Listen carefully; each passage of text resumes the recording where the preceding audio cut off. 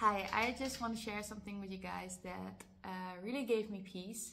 And uh, it's a mindset, it's a text that I wrote it all down for myself to remind myself if I feeling stressed.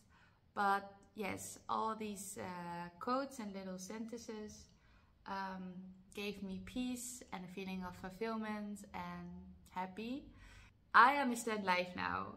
To understand life is to understand yourself, and to understand yourself is to know how you work as a human being. And to know how you work as a human being is it's experiencing you have to experience you have to experience life. It's all about experience and not being perceived.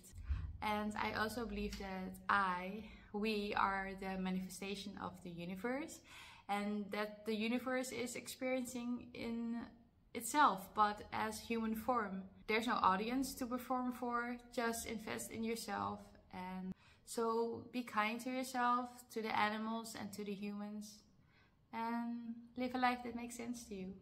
So this has helped me a lot um, with the feeling of being lost or to be honest nobody knows what they're doing and nobody fucking cares just just do your best live the life that makes sense to you. Be kind to yourself and i hope that this will kind of help you in a way. So hopefully this kind of uh, resonate with you and if not that's okay. Cool. Move on. Okay that's it. Thank you for listening. Bye